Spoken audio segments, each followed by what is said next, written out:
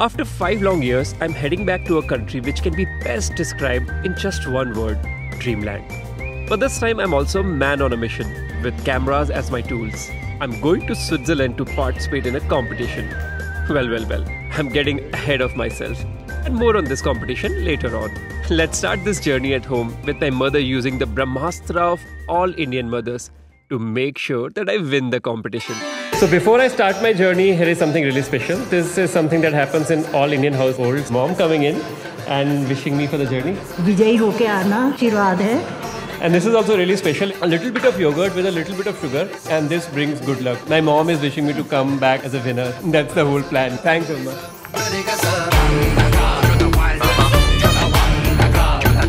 Welcome to the Terminal 3 of Indira Gandhi International Airport in Delhi. In case you're wondering, we'll be boarding in about 30 minutes or so. It's about 8 hours flying, and uh, we should reach Zurich early morning.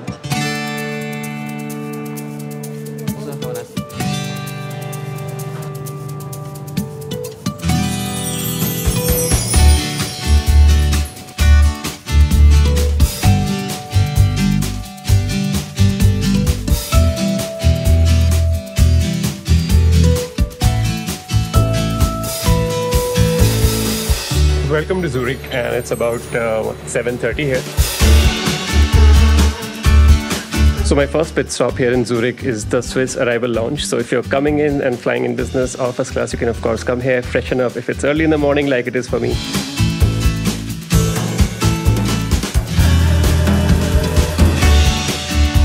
So this is my day room here. Maybe lie down for a bit and uh, go find some food, and of course take a shower.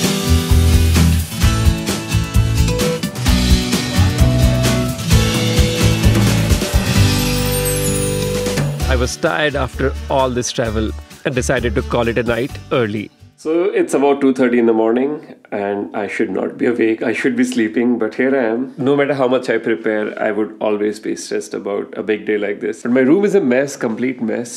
I don't know what did I do in one day I've destroyed the room. Let me get back to work. Ready? These are challenges. Oh, these are the challenges that we. That's something.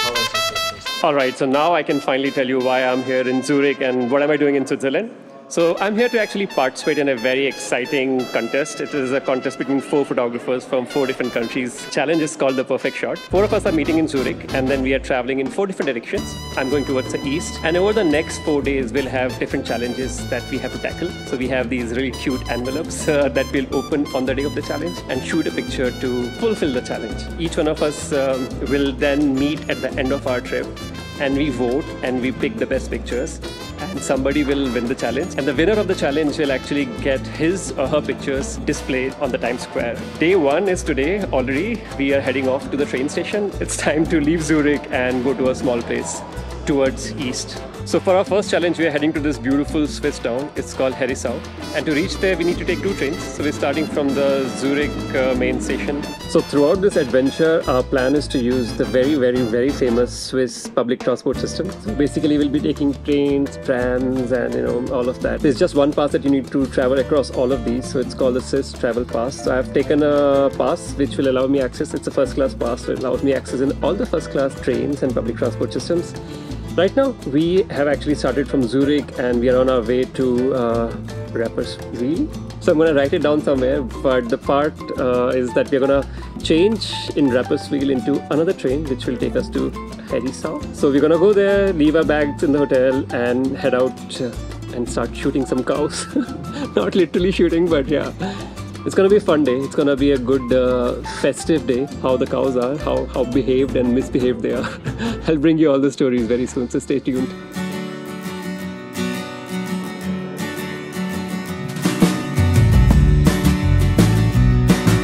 However, things weren't meant to go as smoothly. I realized in a rather stupid way how efficient the Swiss trains are. Okay, so in a very, very, very, very stupid filmy way, I've missed my train. I just came out to record a shot clip of me getting into the train, and the train is gone. The train is gone. Thankfully, I had my phone with me with the local Swiss number, so could easily catch up with my cinematographer at the next station. By now, we had already lost out on a few hours of shooting time. but we were finally on our way to Herisau.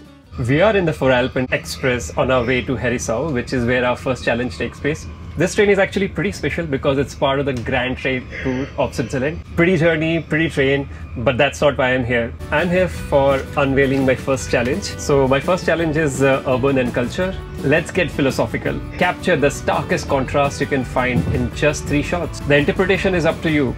Be thoughtful and choose wisely. This is not easy. it's challenging. Uh, the light has come out, so it's in my favor. Let's see how this goes.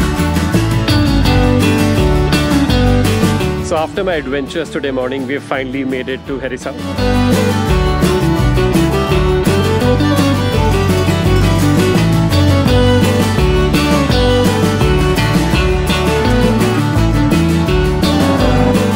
So I'm here now at the Herisau Cattle Festival. This is an annual festival that happens typically in the month of September when farmers uh, along with their cows come down from the Alps. And then there's a competition, which is what is going on behind me.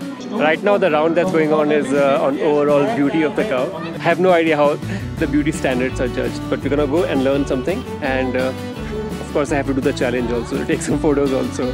But this looks very unique kind of an experience today.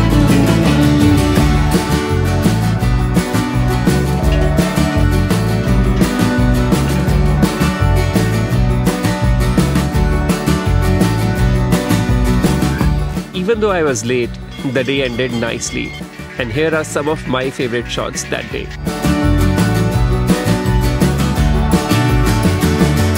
It was already dinner time by the time we had our lunch. And with that, the day ended.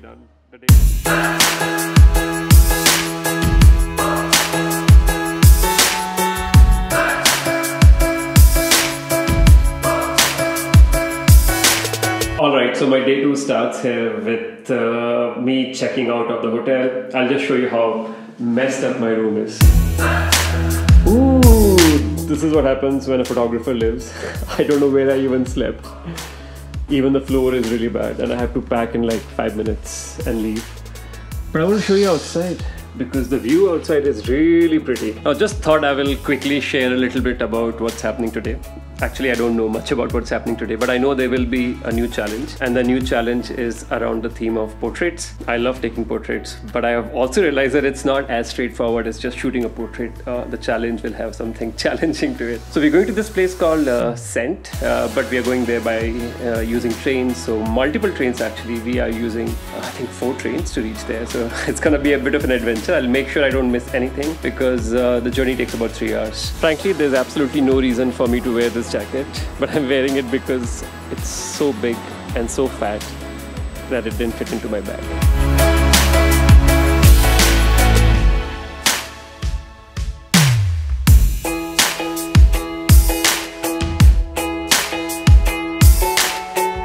It's the second day and time for the second challenge, unveiling of the second challenge.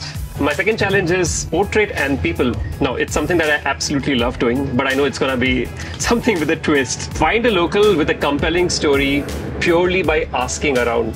No internet allowed. Once you have found your protagonist, capture their essence through your lens. Hmm. I actually like it. I really like it. But a bit of a long journey before that.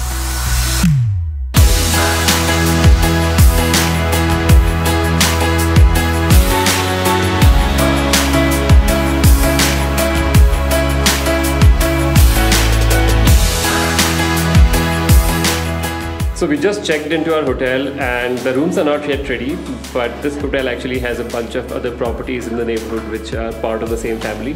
So they are all connected by this secret passage through the hill. So we're gonna take that passage to go and eat our lunch. So kind of interesting passage. Let me show you guys. Hmm. What do you think? Mysterious.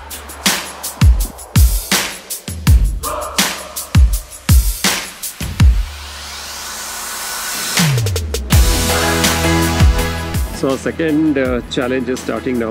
We finished our very nice lunch and now we are on our way to Sent. So we don't know what we're doing. So I think I'll do what I usually do. Go to a cafe, connect with some locals there and uh, see if they can help me connect with some interesting people. It's about 2.30 in the afternoon. So I have some time before the sun sets.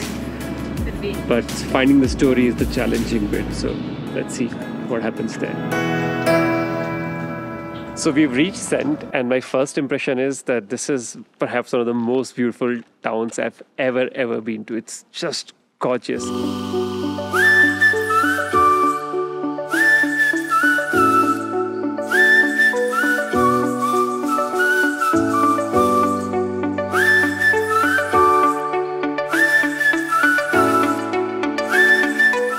Homes have these special, very interesting round doors, and then they have these etched paintings, paintings or etched designs on the front walls, front facade, and then they have these uh, sort of rounded gables again on the front facade. But I'm not here just to see nice houses. I'm here to actually finish my second challenge, and I'm struggling already with it because I have no idea. There's nobody here on the streets. The entire town is completely empty. कोई भी नहीं है not even one single soul. I was hoping, I was hoping that I'll go to a cafe and sit there for a bit and talk to locals, build some relationships. but even the cafes are closed. so my first attempt at finding a subject failed because I found somebody who was actually willing to speak to me. But he's Polish, so he is here to do some work uh, from Poland. Interestingly, Sent has its own language. It's called Romansh, which is uh, quite different from um, the, the Swiss German that most people speak. But this guy doesn't speak even that language. He speaks only Polish. So on to our further journey. We'll go walk and find the next story. I'm not giving up on this, hopefully. So I just met somebody who's actually agreed to be a part of my portrait series. This is Mema. She is actually from Sent. She was born in 1930. So she's 93 years old now.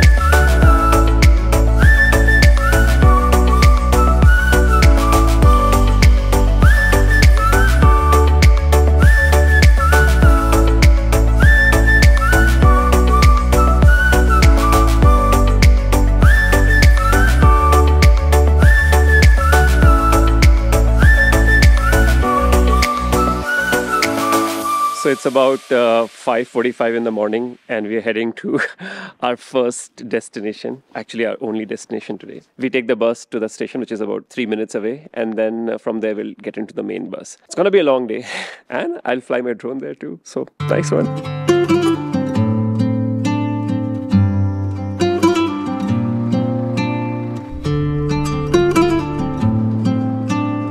Okay, so I really have to say this. Um, it's not even sunrise yet, and we are taking a public transportation system in Switzerland to go shoot uh, in dark.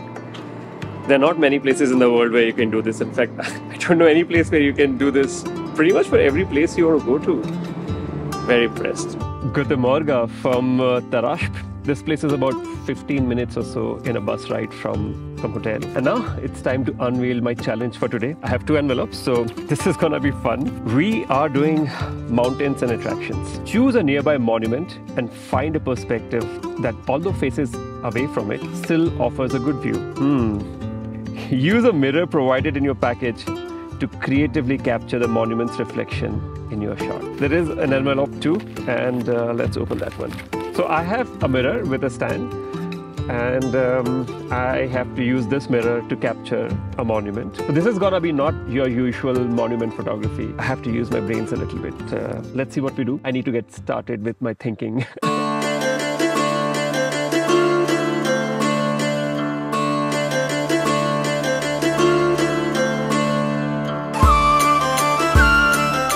So the challenge is quite interesting and uh, I'm quite looking forward to trying it out. But we just don't know where is a good spot from where to actually take a reflection uh, in the mirror. So we're just gonna have to walk around here. So for now, we just had a quick word with the lady here and she suggested to walk on the other side. But yeah, this is one of the most photographed places in the region. So to find something that has never been done before, that's a tall task. Let's see.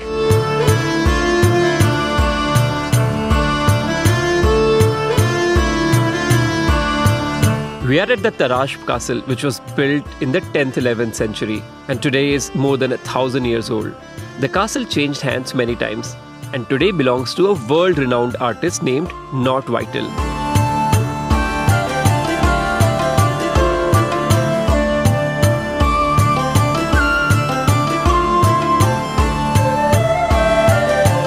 So in my search to find the perfect reflection shot, we have actually come to a cafe Uh, it's actually a restaurant, it's Old Heritage Hotel. And of course, uh, there's coffee and there is croissant. What better way to start the morning? So we had the most amazing time here at the hotel. Ended up meeting the owner of the place, who is the 22nd generation owner of uh, this place. So the house is now converted into this beautiful heritage luxury hotel. And we discussed some ideas, and he was like, "Okay, maybe my sister could be a part of the picture," and that's amazing. She will join us for the shoot a little bit later when the sun comes out. So Jonas and I are going to step out, doing some trial shots, um, get the perspective, the composition right, and uh, then we'll have somebody join us. What more can we ask for? While we search for a place to shoot, uh, we found this really cool spot up there, jumping over the fence and going inside.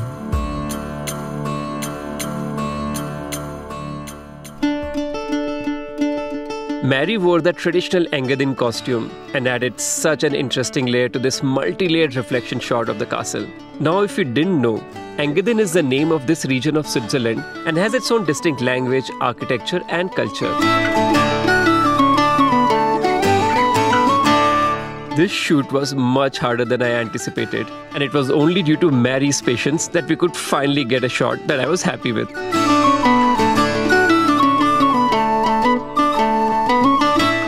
We went back to Scuol and later that evening came back to Tarasp. The plan was to shoot stars around the castle, but there were way too many clouds, though I still enjoyed shooting the town in the cold night.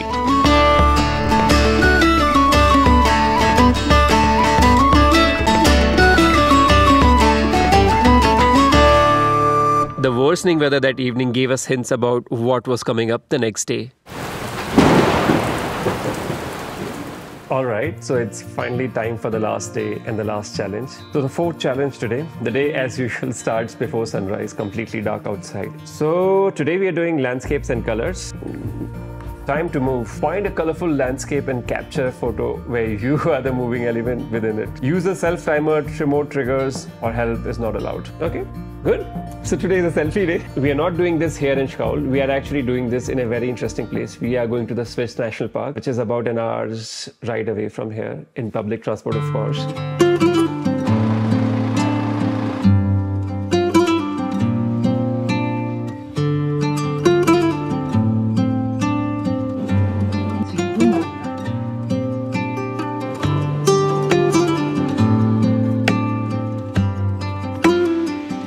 Day had started on a rainy note, and things got only worse from then on.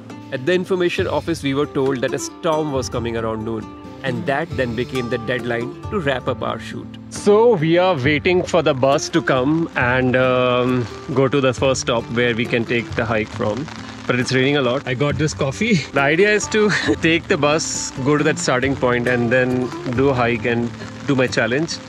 But it looks really hard because it's it's so much rain and it's also getting quite cold now. I'm scared about my equipment. I don't know what camera will I use eventually for taking these portraits because my Sony or the iPhone or the GoPro, one of them will do the task for me, but it is quite a rainy day.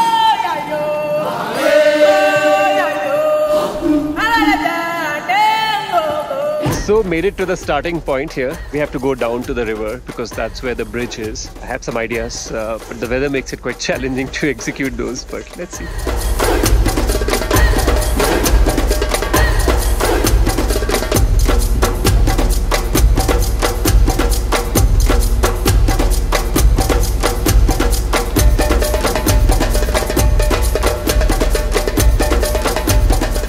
As the rains became intense and my time cut short, I had to quickly pack up my mirrorless camera and move to the GoPro to shoot.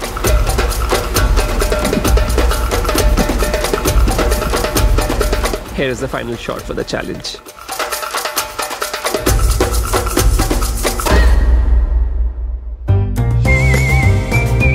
So my Swiss adventures are almost over, in a way. Challenges are all finished, my four days outdoors are finished, and now we are heading off back to the city life towards Zurich. A lot of mixed feelings. Things happened in the last few days. Some amazing memories for the lifetime, and also some interesting shots. The highlight definitely was talking to people and uh, getting to know the local life through them, but also gorgeous landscape. But for now, it's Zurich time. So the plan is to meet at around 2 o'clock, have lunch, and then uh, do the hard part, which is selecting a winner. And of course, the first prize is some fame on the New York Times Square building. So, not thinking about that right now.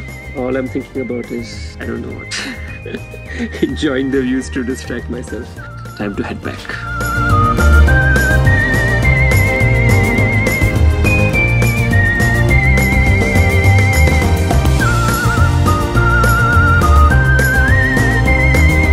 Case you're wondering what happened in Zurich and who won the competition finally, you will know the answer very, very soon. So, what we shot for in Switzerland, all four of us as photographers, will actually become a web series for the Swiss Tourism Board and it will go live on their YouTube channel. So, I'll link those episodes in the description below. And at the end of November 2023, the winner will be announced. If you're watching it early, then you'll have to wait for some more time. Also, I really hope you enjoyed my Swiss adventures. If you liked the video, don't forget to like it here on YouTube as well and maybe even subscribe to the channel. I would really appreciate that. And as you can see, I'm at the airport and ready to board my next flight. See you soon in the next video. But for now, goodbye.